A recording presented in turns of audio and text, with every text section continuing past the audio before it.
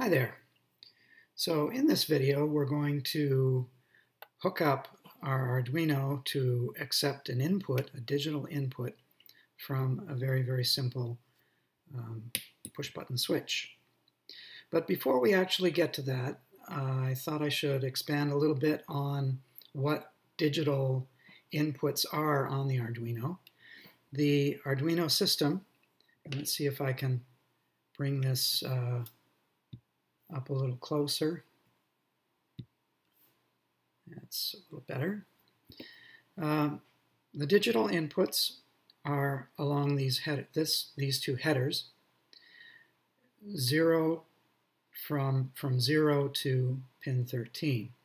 These all uh, are connected to the the actual Arduino, um, the Atmel um, 328 chip there are 28 pins on this, and you can see uh, there are 14 of them. Um, doesn't matter which ones on the actual pin, on the actual uh, chip are connected where. The only thing that you have to worry about is making sure you get the pins right on these two headers. So pins, uh, digital, in, digital pins 0 and 1 are used to communicate between the Uno and the uh, and your computer. Pins 2 to 13 are available for you to use as either inputs or outputs.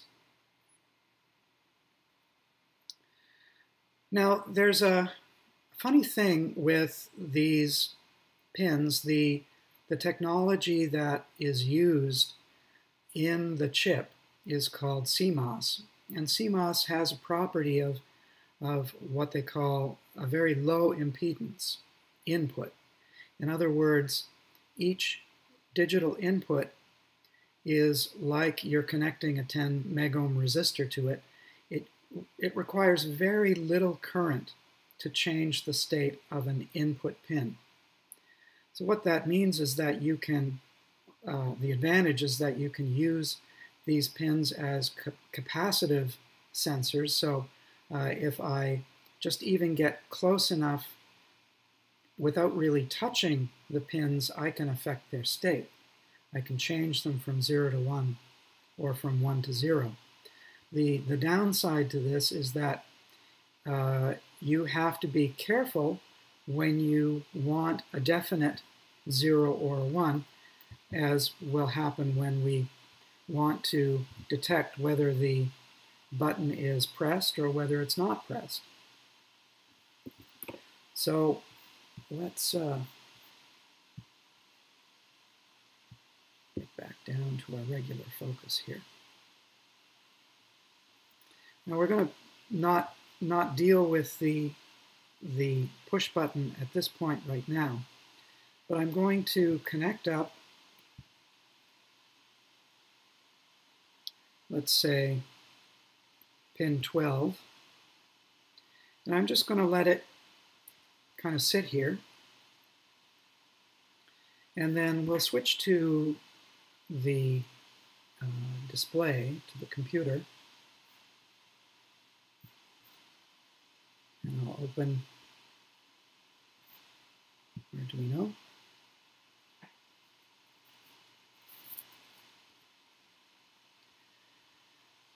And we'll develop uh, a simple program to read pin 12 to see what Arduino thinks the state of that pin is. And we'll start with bare minimum, which is the example under basics, bare minimum. And we've got uh, two two uh, components. The first one is the setup. This happens when you power up or reset the Arduino, this will run. And once this setup is finished, then it goes into this loop. I'm going to, before I even get to setup, I'm going to set a, a variable. I'm going to call it integer and I'm going to name it, call in pin equals 12. And I end it with a semicolon. So all this is doing is it's saying, I'm declaring this variable. It's an integer. Um, it goes from 0 to 255. Um, and you can't have fractions, it's just whole numbers from 0 to 255. I'm giving it a name called inpin, and then I'm giving it a value, 12. So what I'm saying is the input pin is pin 12, which is what I've got uh, on the Arduino. Okay, next line is I'm going to set, rather than uh, set things up having to set up, um, say, an LED, I'm going to use the serial port of the Arduino to tell us what the state of that pin is. And to get started with the serial port, we use this command, serial dash begin. And uh, you have to put a capital in front of serial. And once you get going on it, uh, it changes color. So you can see that it's changed from black to uh, brown. And that means that I've typed in a valid or a recognized command. Really, all I'm asking it to do is to begin to set up the serial port for 9600 baud, which is um, uh, relatively slow speed. What we're actually telling the Arduino is get ready to use digital pins 0 and 1 to send signals up through the USB cable to the computer where the Arduino IDE will interpret that and display it in a separate window on your, on your computer screen. Every command, once again, every command that you put in as a separate line has to end with a semicolon. A lot of these rules come from the C language, so uh, there's no point in arguing about whether or not it's intuitive. It really isn't, but it's it's part of the C um, the C programming way of working. Right, so the serial port is set up. The next thing I need to tell the Arduino that my input pin 12, I want it to be an input, not an output. Now, officially, I don't actually have to declare an input because when you turn the Arduino on, the oops, the uh, the control system, the Atmel 328 chip, actually sets things up as an input for you. But it's a, it's a good practice to, to declare inputs and outputs for all the pins that you're going to be using. So this command is pin mode, and it's small p, big M, and you can see that it's a valid spelling, so um, it's turned to brown. If I don't use a capital M, let's see what happens, it, it, it, it's not recognized. So you have to have a capital M. Pin mode. Then I put a bracket, input pin, comma, and then input in capital letters. You can see input is now green.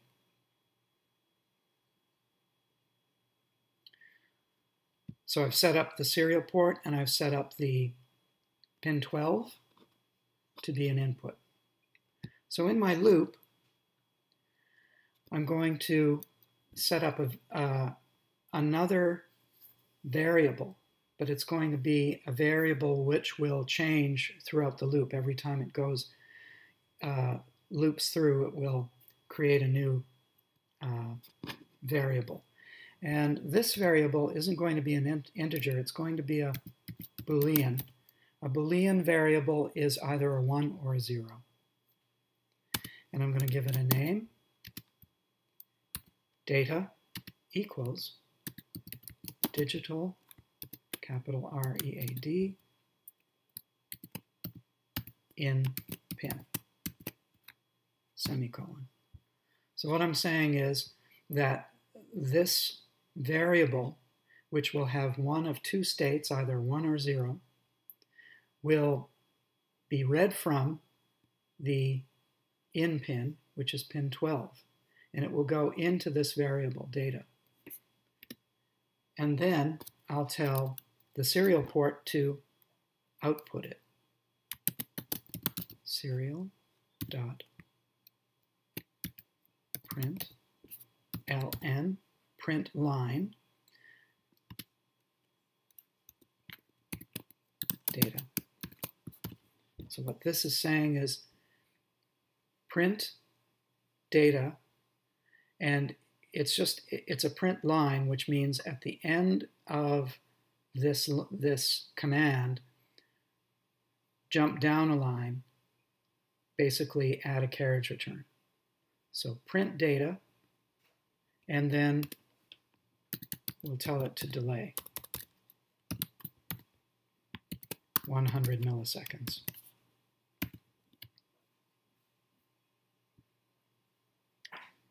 Okay. So I'm going to verify this to make sure that it's good to compile. And in this case, I've made an error.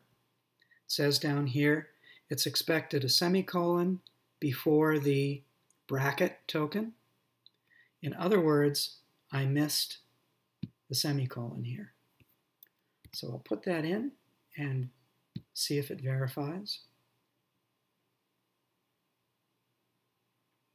It's done. Okay, so uh, we've got the program ready to upload. I'm going to upload it now. There was a problem with it. Let's make sure we've got our board and port. Our port is not selected, so we have to go ahead and choose the UNO. Now let's see if it will upload. Okay, you can see that it's uploaded now. I'm going to go over to the serial monitor and uh, This pin 12 is basically an antenna. It's uh, just picking up any stray electrical fields and it's giving us a kind of a random output.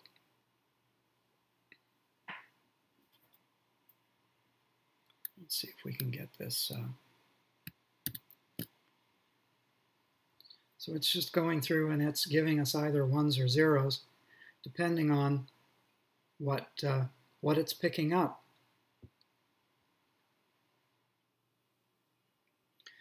So let's take a look and see uh, in another, in a different way what's actually going on here. So I've got pin 12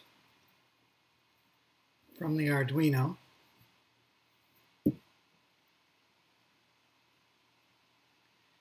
And I've got different electrical fields that are affecting it.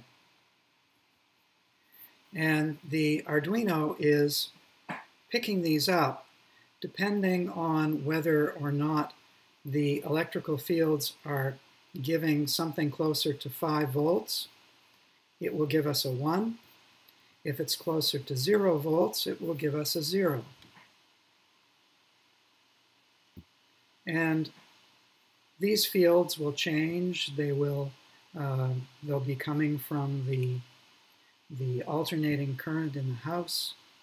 They'll come from radio waves. Somebody turns on a microwave oven somewhere close by. All of that gets added to the all of the electro, electromagnetic fields in this area, and they will affect the pin.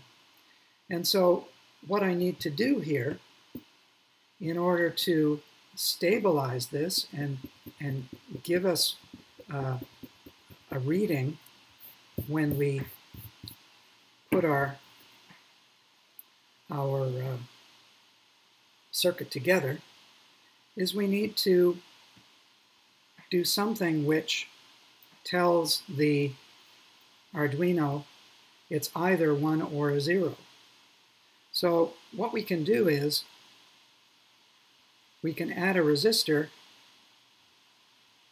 to ground and then above that place our switch which connects to plus 5. This is a 10K resistor that we'll put in. So when the switch is open, it will ground this pin. It will force the pin to be at a zero volts potential. When we close the switch, that's a route, direct route to plus 5. So the pin will read plus 5. The reason why we don't just have uh, a straight wire here is because that would create a short circuit. We need to uh, reduce the current flowing through to allow it to affect pin 12.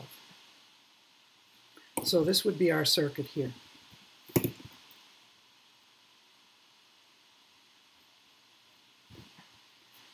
Pin 12, unless we have this pull down resistor,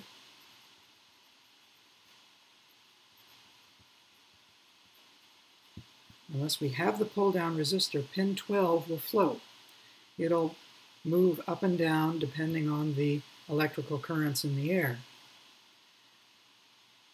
The pull down resistor brings pin 12 to ground, to zero, until we close the switch and then it allows uh, 5 volts to be seen by the pin and then the state changes to 1.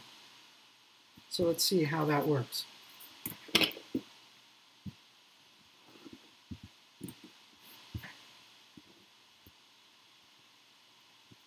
You can see, see it's still running, it's still uh, sending through the serial port, it's still sending signals out to the computer through the USB cable. So here are our 10K resistors.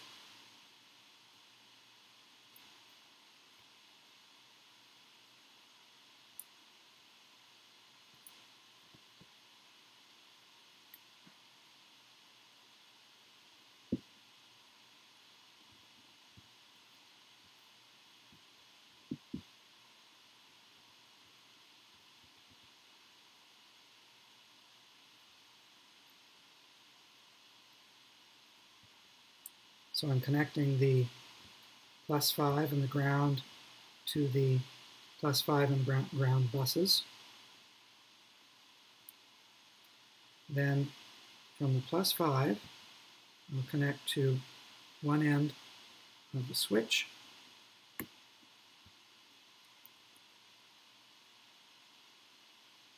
And then I'll connect to the other end of the switch, the other contact. I'll connect that to the ground bus. Just like what we've got here.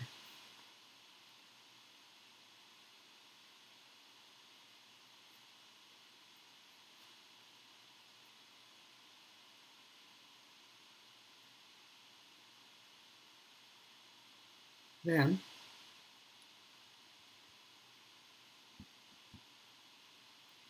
top of the resistor, as we have here.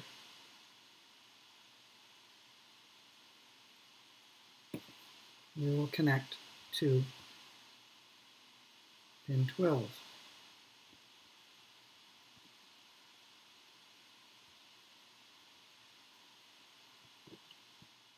So, here's our serial connection. It's showing us zeros. Now, it's a little bit difficult to see. It doesn't look like anything's changing. Let's uh, close this and reopen it so that you can see.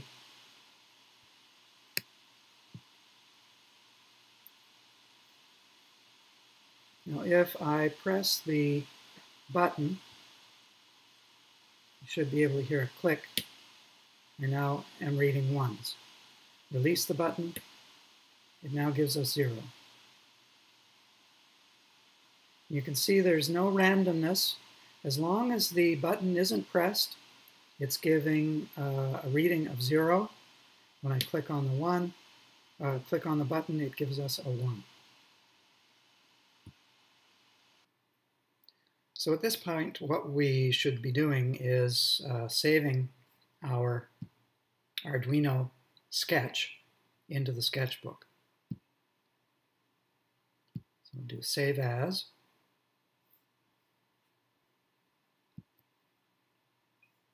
I'm going to create a new folder in the sketchbook, and I'll call it course.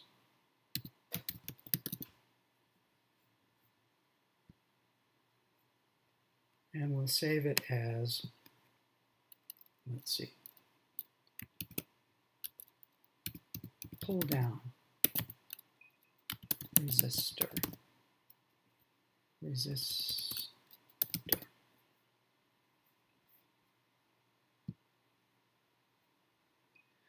So uh, it's done saving. It's just given us a little notice that the sketch name had to be modified. Sketch names can only consist of ASCII characters and numbers, but cannot start with a number. They should also be less than 60 characters, 64 characters long. And if you have a space in them, space is not an ASCII character, so um, it's put an underscore in between the words. So if we go into our sketchbook, into course, there's our sketch.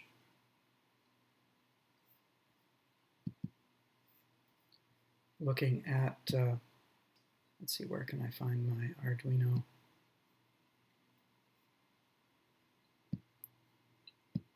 Folder, there it is. There's the course. There's the pull down resistor folder. This is the actual Arduino file. It has a .ino extension.